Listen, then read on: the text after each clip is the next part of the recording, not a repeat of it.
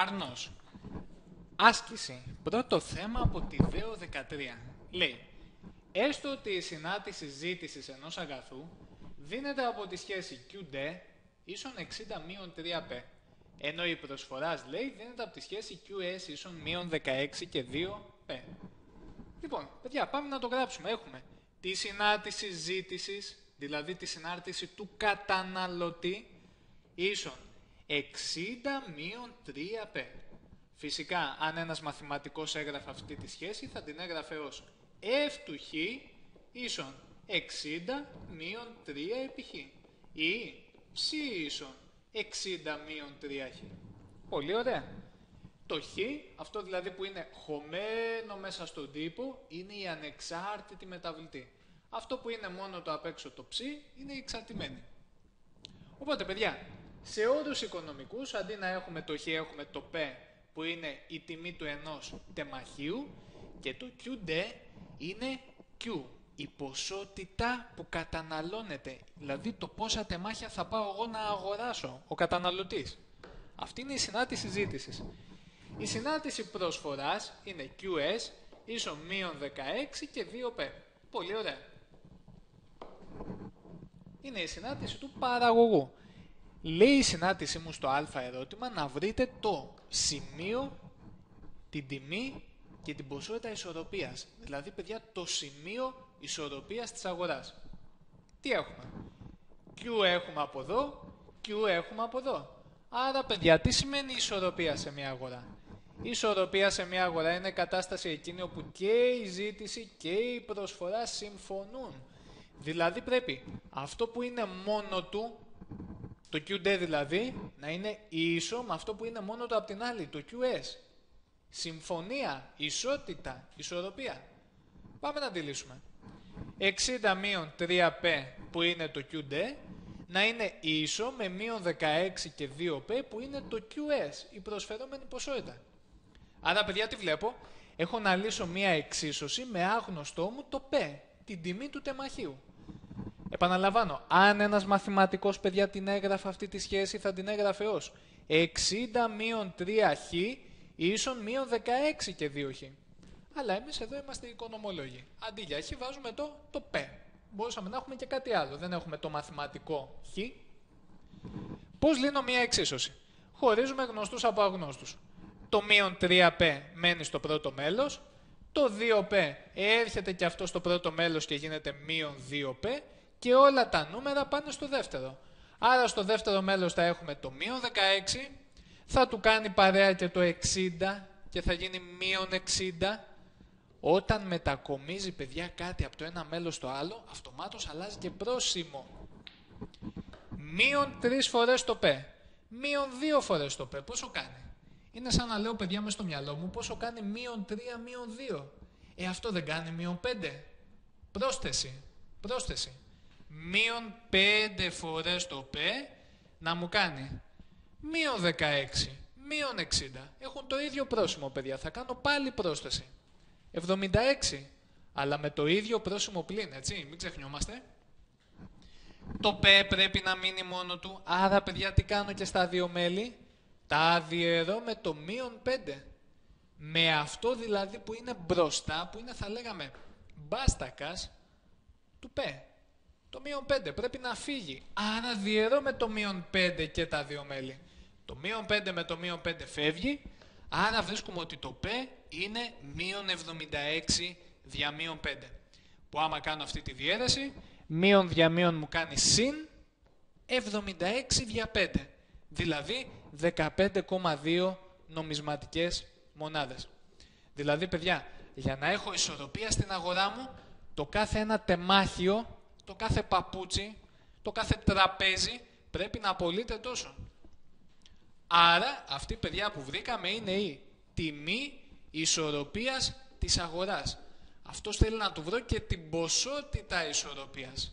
Τι σημαίνει; Ε, είτε εδώ πάω για να βρω την ποσότητα, είτε εδώ πάω για να βρω την ποσότητα. Αφού παιδιά έχουμε ισορροπία, θα βγάλουμε το ίδιο αποτέλεσμα. Πήγαινε όπου θέλεις, ή εδώ, ή εδώ, όπου και να πας, το ίδιο θα βρεις. Ας πάμε στην πρώτη. Τυχαία.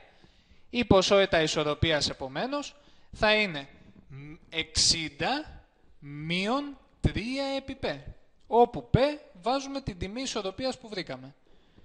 60 μείον 3 επί το π που είναι 15,2, δηλαδή 60 μείον ο πολλαπλασιασμός αυτός μας κάνει 45,6, άρα έχουμε 14,4 τεμάχια.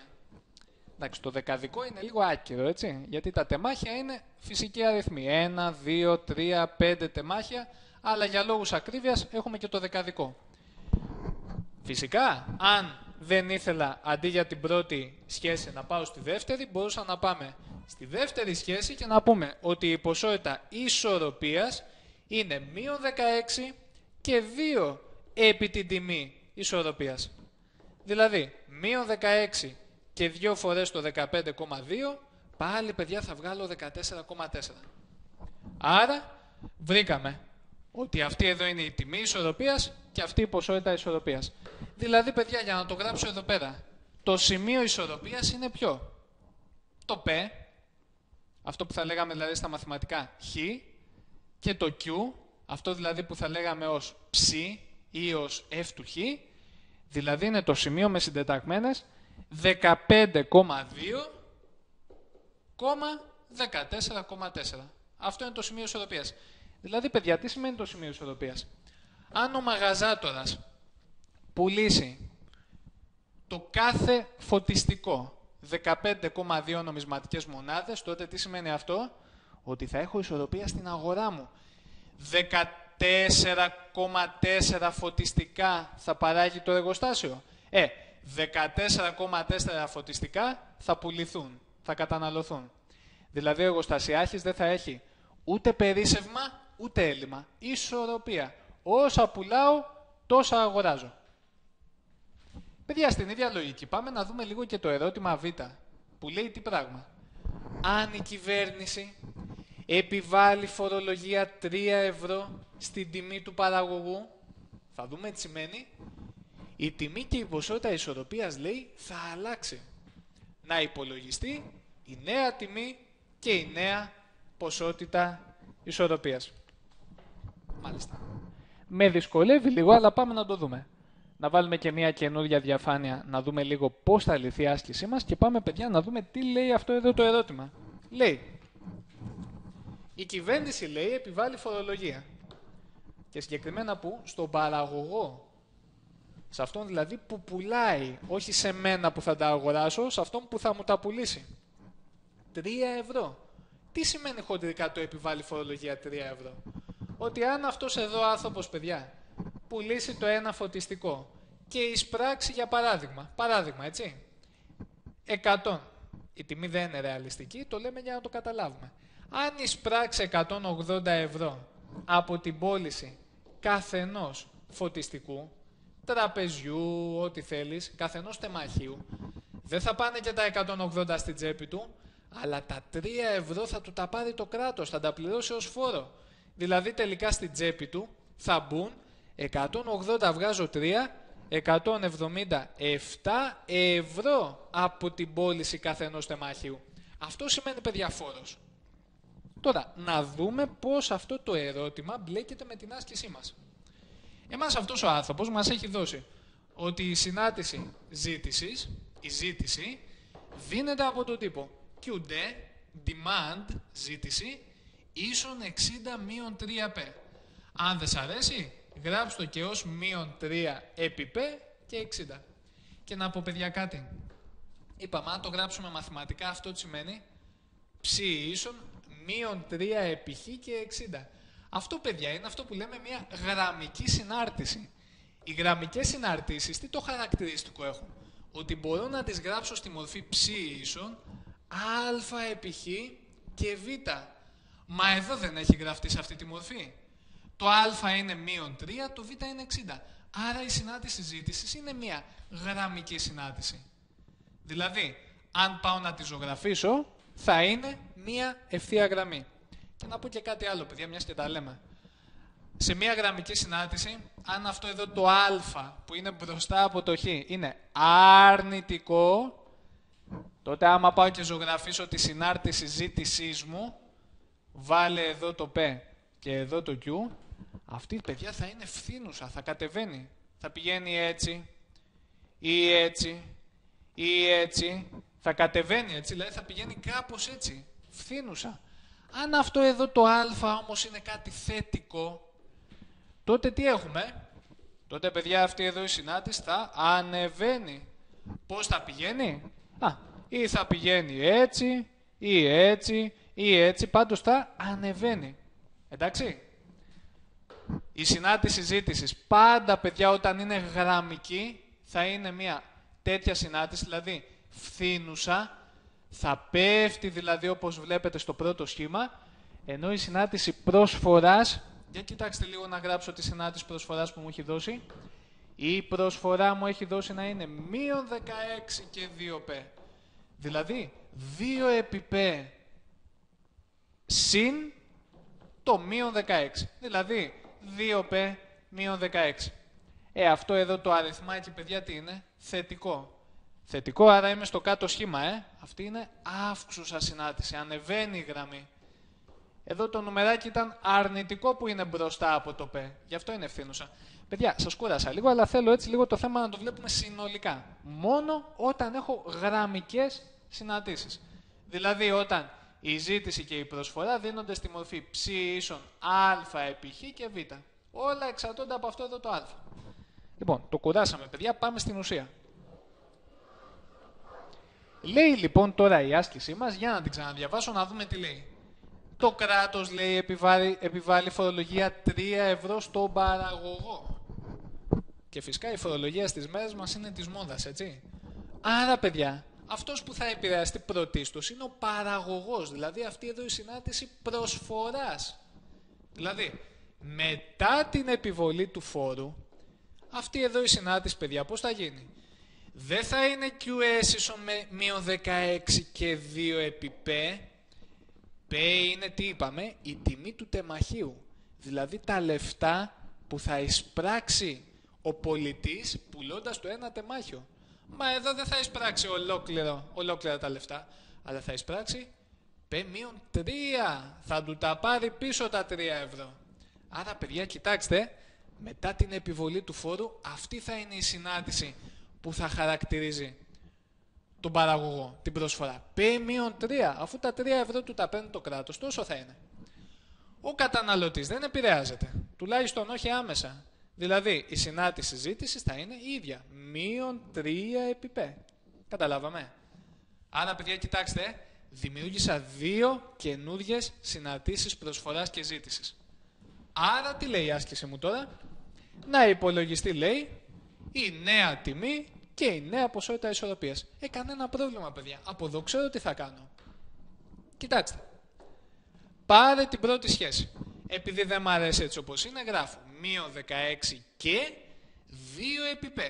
Μας κάνει 2 επί π. 2 επί το μείον 3. 2 επί το μείον 3 μας κάνει μείον, συν επί πλην πλην, 2 επί 3, 6. Δηλαδή αυτό μου κάνει μείον 16, μείον 6, μείον 22 και 2 επί π. Παιδιά, αυτή είναι η καινούρια συνάντηση προσφοράς έτσι όπως διαμορφώθηκε. Μάλιστα. Και η συνάντηση συζήτηση είναι η από κάτω. Άρα πάμε να βρούμε το σημείο ισορροπίας. Τι κάνω πάλι; Στην ισορροπία πρέπει αυτά εδώ τα δύο που είναι μόνα τους να συμφωνούν. Πρέπει δηλαδή για να έχω ισορροπία στην αγορά μου τι πρέπει να ισχύει, η προσφερόμενη ποσότητα QS να είναι ίση με τη ζητούμενη ποσότητα QD. Το QS είναι μείον 22 και 2 επί P ίσον το QD που είναι 60 μείον 3 επί P.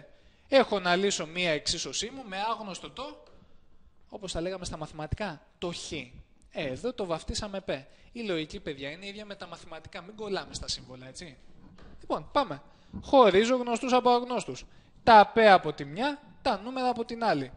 Άρα στην πρώτη μεριά θα έχουμε το 2P, θα έρθει το μείον 3P, μαζί με το πρόσημο το παίρνω, να του κάνει παρέα και θα γίνει συν 3P. Και από την άλλη μεριά θα έχουμε το 60, το μείον 22 θα πάει να του κάνει παρέα και θα γίνει συν 22. Άρα πάμε να τα σου λουπώσω. 2 φορές το P και 3 φορές το P, 3 και 2 μας κάνει 5 φορές το P. 60 και 22, 82. Ε, και τώρα παιδιά τι κάνω; Το P θέλω να μείνει μόνο του, άρα πρέπει να διώξω αυτό το 5 που είναι μπροστά του. Πώς το διώχνω; Διαιρώ με το 5 που θέλω να διώξω. Φυσικά αν εδώ είχα μείον 5, θα διαιρούσα μείον 5, έτσι; Μαζί με το πρόσημο. Δεν το ξεχνάω το πρόσημο, παιδιά, έτσι; 5 παιδιά 5 ίσον 82 δια 5. Τα πεντάδια ευτυχώς φεύγουν από τη ζωή μου, άρα βρίσκω παιδιά ότι το P είναι 82 πέμπτα. Που 82 δια 5 μας δίνει το αποτέλεσμα 16,4 νομισματικές μονάδες. Δηλαδή, μετά την επιβολή του φόρου, ο πολιτής θα αναγκαστεί το κάθε τεμάχιο να το πουλάει 16,4 ευρώ. Και μάλιστα, παιδιά, αυτό είναι και λογικό έτσι. Γιατί πριν του επιβάλλουν τον φόρο, αυτός πόσο το πουλούσε το κάθε τεμάχιο; 15,2 έτσι. Ε, μετά την επιβολή του φόρου, τι σκέφτεται ο πολιτής; Σκέφτεται ότι αφού το κράτος θα του πάρει κάποια χρήματα, να μην βγάλει και εκείνος το κάτι του; Να μην δηλαδή αυξήσει την τιμή του τεμαχίου; Για να βγάλει τα λεφτά του. Από τα 15,2 επομένως αναγκάζεται να το πουλήσει στα 16,4 ευρώ. Αφού του παίρνει το κράτος τα λεφτά, ε, δεν μπορεί να κρατήσει η ίδια την τιμή του τεμαχίου, θα αναγκαστεί να αυξήσει την τιμή για να ισοφαρίσει τις απώλειές του. Λογικό είναι, παιδιά. Οπότε, 16,4 είναι η τιμή ισορροπίας, η καινούργια. Για να βρω και την ποσότητα ισορροπίας στην καινούργια, μετά την επιβολή του φόρου, ποσότητα. Ή εδώ πας, σε αυτή τη σχέση, ή σε αυτή τη σχέση πας, θα βρεις το ίδιο αποτέλεσμα. Γιατί, γιατί έχουμε ισορροπία. Ας πάω στην κάτω, παιδιά. Θα μπορούσα να πάω που θέλω. Η ποσότητα ισορροπίας είναι 60 μείον 3 επί το P που βρήκα 16,4. Που αυτό, παιδιά, άμα το κάνω θα μας κάνει 10,8 φυσικές μονάδες. Τεμάχια. Άρα, παιδιά, τι βρήκα; Στην καινούργια κατάσταση ισορροπίας μετά την επιβολή του φόρου, το κάθε τεμάχιο θα πωλείται 16,4 νομισματικές μονάδες. Ευρώ. Αν πωλείται τόσο, θα έχω ισορροπία. Δηλαδή τι, 10,8 τεμάχια θα πουλάω, 10,8 τεμάχια θα παράγω, 10,8 τεμάχια θα πουλάω. Δεν θα έχω δηλαδή ούτε έλλειμμα, ούτε περίσσευμα. Αυτή είναι, παιδιά, η ισορροπία της αγοράς. Και για να το γράψω και εδώ πάνω, το νέο σημείο ισορροπίας, ας το βαφτίσω P άστρο, Q άστρο, σαν να λέμε Χ και Ψ, θα είναι 16,4,10,8. Το νέο σημείο ισορροπίας. Επιστρέφουμε στη συνέχεια με τα ερωτήματα Γ και Δ.